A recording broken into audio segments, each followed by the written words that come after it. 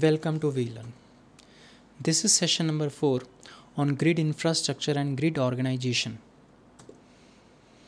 So, uh, we will uh, discuss about the grid infrastructure and grid organization in this session.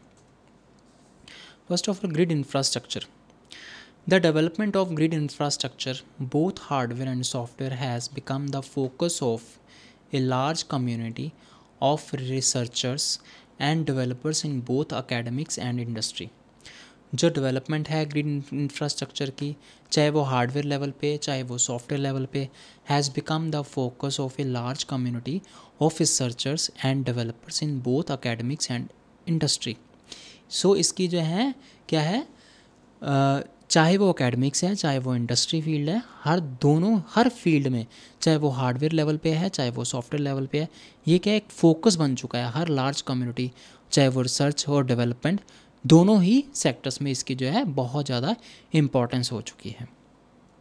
Then the grid infrastructure is a complex combination of a number of capabilities जो grid infrastructure है, ये क्या is a complex combination of a number of capabilities बहुत ज़्यादा जो complex हैं हम लोग देखते हैं जो इंफ्रास्ट्रक्चर बहुत ज़्यादा कॉम्प्लेक्स है कम्बिनेशन है जिसमें जिसमें of a number of capabilities and resource identified for the specific problem and environment being addressed then in the early development stages of grid application middleware and solutions approaches were develop to solve fairly narrow and limited grid computing problems बहुत पहले जो development stages होती थी grid applications की middleware and solutions approaches होते थे वह developed to solve fairly narrow develop किया गया था सॉल्व करने के लिए fairly narrow and limited grid computing problems को such as middleware to deal with numerical analysis जैसे कि मिडल वेयर को डील करने के लिए न्यूमेरिकल एनालिसिस के बेस पे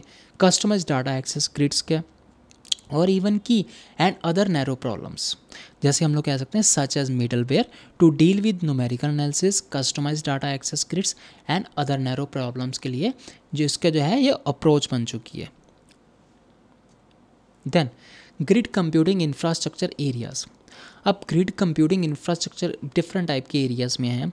इसमें जो एरियाज़ कवर होते हैं, वो है first one is security the next comes resource का management means resource management the next comes information services then fourth one is data management so इसमें जो चार फैक्टर्स हैं, पहले तो आ गया सिक्योरिटी का, जो कि बहुत ही इंपॉर्टेंट फैक्टर है। देन जितने भी रिसोर्सेज अवेलेबल हैं, उनकी मैनेजमेंट ये भी बहुत ज़्यादा इंपॉर्टेंट है। देन इन्फॉर्मेशन सर्विसेज़ जितनी भी इंफॉर्मेटिव जो है सर्विसेज़ वो अवेलेबल है यहाँ पे, जिनके थ्रू इन्फॉर्मेशन अवेल हो रही है। देन डाटा मैनेजमेंट जो भी डाटा हमारे पास में है, उसकी प्रॉपर वे से जो है मैनेजमेंट हो रहा है। Then organizations developing grid standards organizations जो कि डेवलप करती हैं ग्रिड स्टैंडर्ड्स को.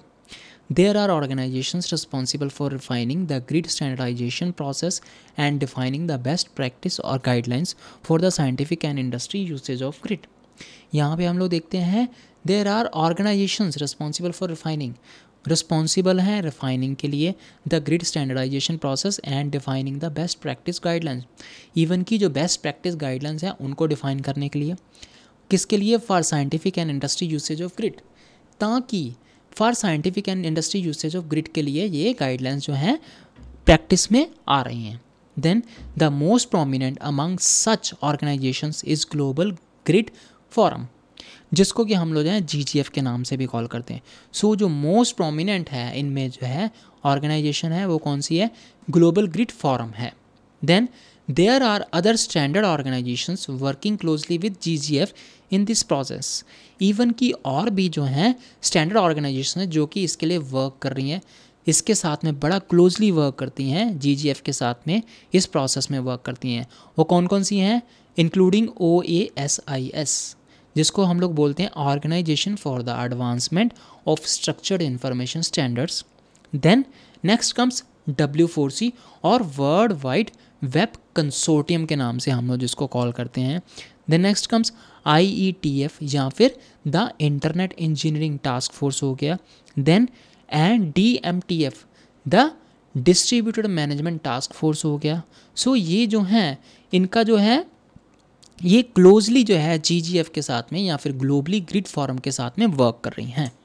Then G G F is mainly working in the grid arena जो जी जी एफ़ है, ये मेनली वर्क वर्क करता है ग्रिड एरिना में while others have more broad based programs covering other parts of the computing industry such as network resource business etcetera so जो G G F है mainly grid arena में work कर रही है।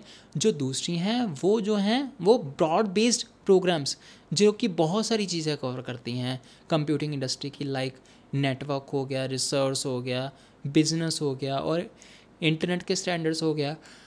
Like W four C is working on the standardization of the van and web related technologies so so, यहाँ पे जितने भी वेब से रिलेटेड जो भी टेक्नोलॉजीज़ हैं उसके ऊपर वर्क कर रहा है including web services extensible markup language हो गया एक्सएमएल वगैरह हो गया एंड सेमेंटिक वेब वगैरह जो है इसमें जो है स्टैंडर्ड्स ये डेवलप करती हैं। Then next comes global grid for so इसमें क्या है? ग्लोबल ग्रिड फॉरम क्या है? 1999 में डेवलप हुआ था फॉर्म हुई थी।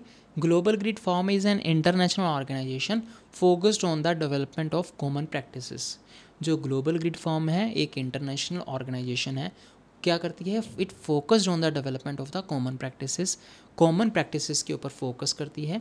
Then agreements and specifications that will promote interoperability and reuse of grid technologies क्या करती है ये? प्रमोट करती है इंटर और री यूज़ ऑफ़ ग्रिड टेक्नोलॉजीज़ के लिए ये वर्क करती है। Then the global grid forum is the community of users global grid forum क्या है? एक कम्युनिटी है यूज़र्स की डेवलपर्स की एंड वेंडर्स की leading the global standardization effort for grid computing so then जो जी जी एफ़ या फिर ग्लोबल ग्रिड फॉर्म है, इसकी जो कम्युनिटी है, क्या करता है ये? It consist of thousands of individuals in industry and research ये क्या है? कंसिस्ट करता है बिलोंग करता है thousands of individuals industry and research जो भी इस इंडस्ट्री और रिसर्च में इन्वॉल्व हैं। Representing over four hundred organization in my in more than fifty countries अब रिप्रेजेंट क्या कर रहे हैं? कहाँ पे कर रहे हैं? ओवर फोर हंड्रेड ऑर्गेनाइजेशन पूरी जो है fifty country more than fifty countries में जो है फोर हंड्रेड ऑर्गेनाइजेशन है जहाँ पे कि ये रिप्रेजेंट कर रहे हैं। Then computing toolkits to achieve the objective in grid computing there is a need for middleware toolkit अब अगर इनकेस हम लोग देखते हैं, अगर सपोज़ हम लोगों को इसका ऑब्जेक्टिव ग्रिड कंप्यूटिंग में अचीव करना है then there is a need for middleware toolkit which provides adequate infrastructure जो कि एक एडुकेट लेवल का जो इंफ्रास्ट्रक्चर प्रोवाइड करता है सिक्योरिटी प्रोवाइड करता है then services application and portals provide करता है. So the most important organization responsible for toolkits middleware and frameworks are like Globus हो गया लेजियन हो गया काउंडर एंड काउंडर जी हो गया. सो so, ये जो हैं, इसके मिडलवेयर और फ्रेमवर्क इवन की टूल किट्स में ये जो हैं, सारे के सारे ऑर्गेनाइजेशन रिस्पॉन्सिबल हैं. So first of all come Nimrod then Nimrod क्या है?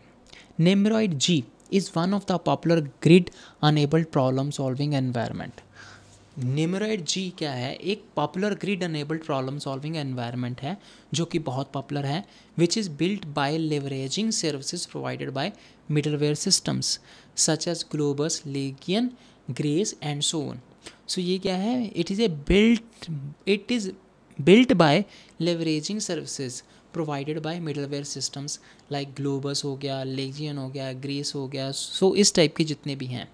Then Nimrod G is a tool for automated modelling and execution of parameter sweep applications Nimrod G क्या है? एक टूल है जो कि ऑटोमेटेड मॉडलिंग के लिए यूज़ होता है and execution of parameter sweep applications में यूज़ होता है। देन पैरामीटर स्टडीज़ में इसका यूज़ होता है। ओवर ग्लोबल कंप्यूटेशनल ग्रिड्स में इसका यूज़ होता है। Then it provides a simple declarative parametric modelling language for expressing parametric experiments ये क्या करता है? एक simple declarative parametric modelling language है फॉर एक्सप्रेसिंग पैरामेट्रिक एक्सपेरिमेंट्स जो भी पैरामेट्रिक एक्सपेरिमेंट्स होते हैं, उनको एक्सप्रेस करने के लिए इसका यूज़ होता है। Then the domain experts can easily create a plan for a parametric computing and use a Nimrod runtime system to submit legacy jobs for execution. जो इसका डोमोन डोमेन एक्सपर्ट्स हैं can easily create a plan plan को create कर सकते हैं किसके लिए? For a parametric computing and use of Nimrod run time system के लिए, ताकि to submit legacy jobs for execution ताकि जो भी लगेसी जॉब्स हैं एग्जीक्यूशन के लिए होती हैं, उसको सबमिट कर सकें। It uses economics paradigm for resource management and scheduling on the grid ये यूज़ करता है इकोनॉमिक्स पैराडिगम को for resource management and scheduling on the grid then it supports user defined deadline and budget constraints for scheduling optimizations and regulating demand and supply of resources in the grid by leveraging services of grace grid architecture of computation economy ये support करता है user defined deadline और budget constraints के लिए किसके लिए? For schedule optimization and regulating demand and supply of resources के then कहाँ पे? In the grid by leveraging services of grace जिसको कि हम लोग grid architecture for computational economy के नाम से भी कॉल करते हैं। सो so, ये क्या है? रिसोर्स ट्रेडिंग सर्विसेज़ ये क्या है? It sports user defined deadline उसको सपोर्ट करता है और बजट कंस्टेंट्स जो भी हैं किसके लिए हैं? शेड्यूल ऑप्टिमाइजेशन वगैरह रेगुलेटिंग डिमांड और सप्लाई ऑफ़ रिसोर्स वगैरह से कंसर्न जितने भी हैं सो so, इनके लिए ये सपोर्ट प्रोवाइड करता है। Then next comes Unicode Unicode या फिर uniform interface to computing resources ये क्या है? It's a grid computing technology that provides seamless secure and intuitive access to distributed grid resources such as supercomputers or cluster systems and information stored in databases. So Unicore क्या है एक grid technology है जो कि provide करती है seamless secure और intuitive access provide करती है टू डिस्ट्रीब्यूटेड ग्रिड रिसोर्सेज के लिए सच एज सुपर कंप्यूटर्स हो गया और क्लस्टर सिस्टम्स हो गया या फिर इंफॉर्मेशन स्टोर जो कि डाटाबेस पे होता है then Unicore was developed in two projects funded by the German Ministry for Education and Research. Unicore क्या है? डेवलप किया गया था। टू प्रोजेक्ट्स में फंडेड था। किसके through like by German Ministry for Education and Research इन्होंने जो है इसको फंड किया था। Then in various European funded projects Unicore has involve to a full grown and well tested grid middleware system over the years. So Unicore is used in daily production at several supercomputer centers worldwide. Unicode जो हम लोग देखते हैं, ये क्या है, daily production में इसका यूज़ होता है। बहुत सारे जो सुपर कंप्यूटर के जो सेंटर्स होते हैं वर्ल्ड वाइड जो यूज़ होते हैं, वहाँ पे इसका यूज़ है। Beyond this production usage Unicode serves as a solid basis in main, many European and international research projects. इनके अलावा, इस प्रोडक्शन के अलावा, यूनिकोर क्या करता है, सर्व करता है as a solid basis in many European and international research projects में भी ये सर्व करता है। Then the Unicore technology is open source under B S D license जो यूनिकोर टेक्नोलॉजी है, ये एक open source B S D license के अंडर वर्क करता है। टेक्नोलॉजी अंडर डेवलप्ड है and available at sound forge where new releases are releases are publish on a regular basis और ये अवेलेबल है साउंड फेयर्स के अंदर, जहाँ पे कि न्यू रिलीजेज जितने भी होते हैं पब्लिश होते हैं रेगुलर बेसिस पे। Next comes N M I N M E और जिसको कि हम लोग जो है N S F middleware initiative के नाम से कॉल करते हैं is a grid computing project of National Science Foundation ये क्या है? एक ग्रिड कंप्यूटिंग प्रोजेक्ट है नेशनल साइंस फाउंडेशन का है यूएसए का है.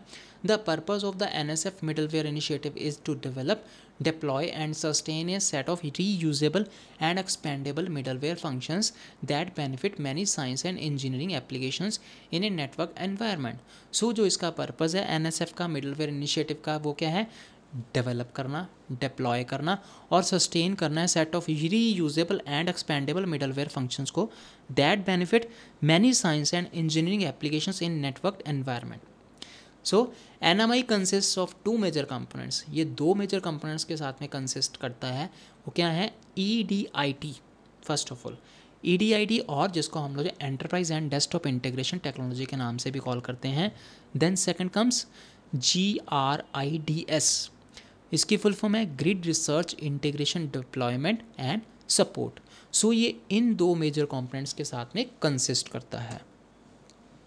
Organizations building and using grid based solutions वो कौन सी हैं? डरपा, जिसको कि defense advance research project agency के नाम से हम लोग कॉल करते हैं।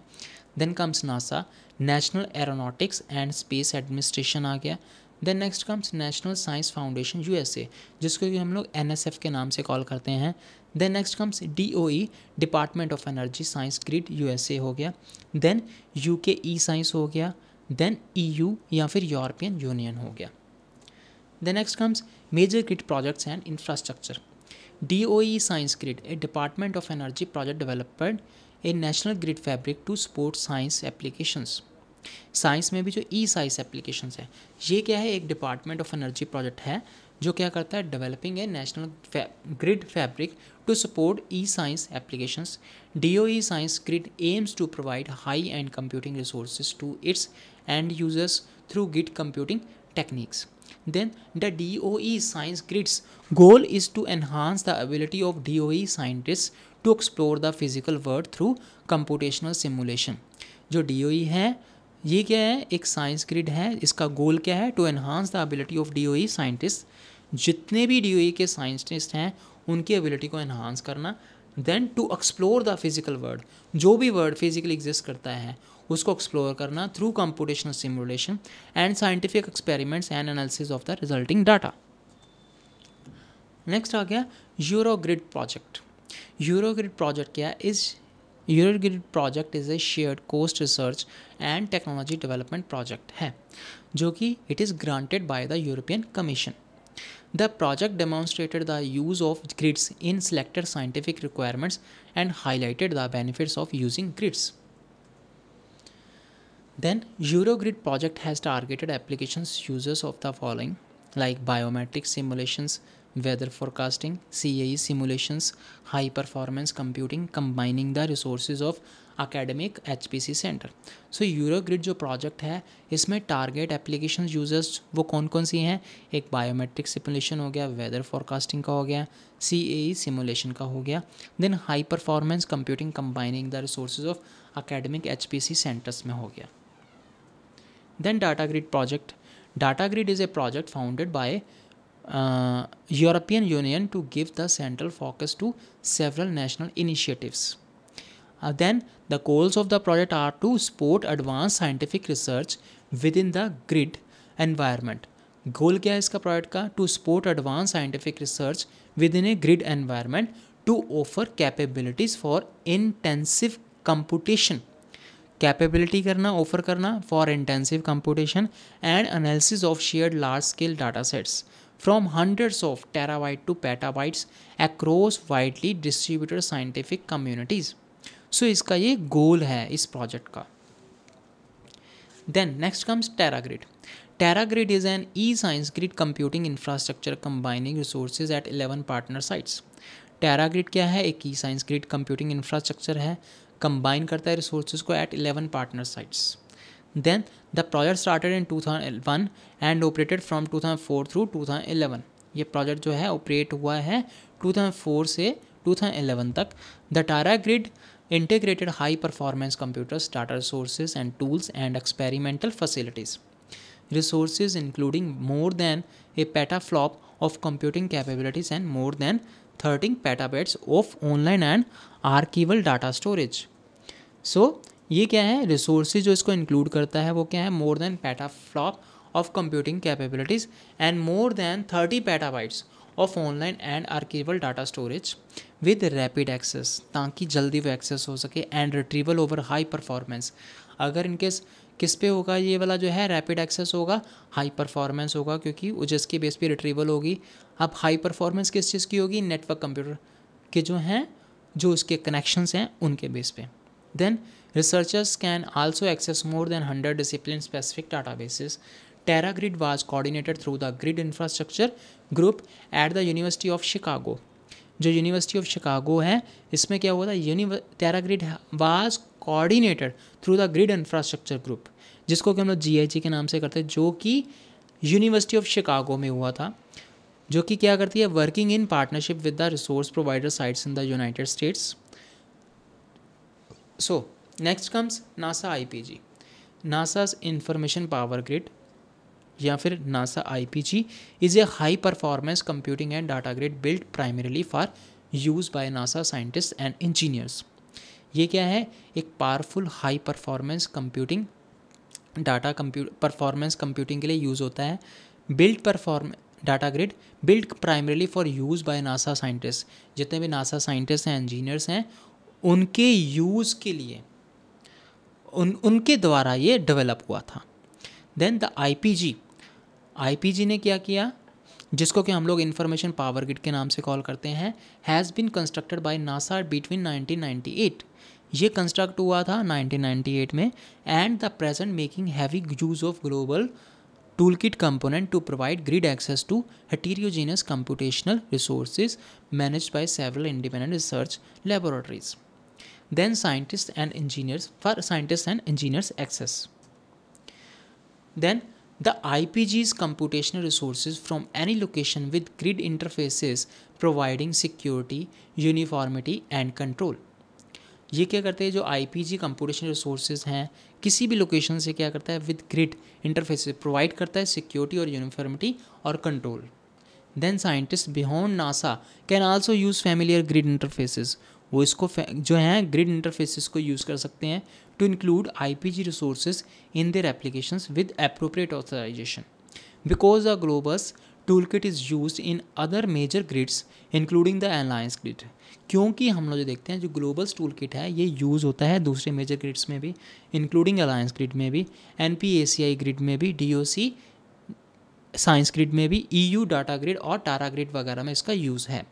Then I P G infrastructure has been and is being use by numerous scientist and engineering efforts both within the beyond NASA ये जो आई पी जी इंफ्रास्ट्रक्चर है, इसका क्या है? Is being use by numerous scientist बहुत सारे जो scientist हैं वो क्या करते हैं? और इंजीनियरिंग एफर्ट्स हैं, जो कि both within and beyond NASA even कि नासा के अंदर और नासा के आगे भी जो भी हैं। Then a few of these are described here like we can see even these are described in the aviation safety project and aero D B Trails and more are available on the MASA websites listed in the entry of these headings. So next comes commercial organizations building and using grid based solutions. So इसमें क्या है the commercial interest in grid computing involves the concepts of resource sharing and resource virtualisation principles जो इसका commercial interest है grid computing में वो किसमें करता है? Involve the concept of resource sharing and resource virtualization principles it should be noted that all computing resource such as clusters servers blades operating systems and applications are viewed as utilities to be use by grid users ये क्या करता है? It should be noted that all computing resources such as clusters servers blades हैं operating systems हैं, और भी application are viewed as utilities to be use by grid users जो कि ग्रिड यूज़र्स के द्वारा यूज़ होते हैं। Utility computing resource virtualization and on demand computing are the key areas of grid applicability in the commercial world so now we have some exercises. The in the exercises the questions are what is grid infrastructure? Grid infrastructure क्या है? Then what are the organizations developing grid computing toolkits? कौन कौन सी organization है जो कि grid computing tool kits को develop कर रही हैं so that's all for today session happy learning we learning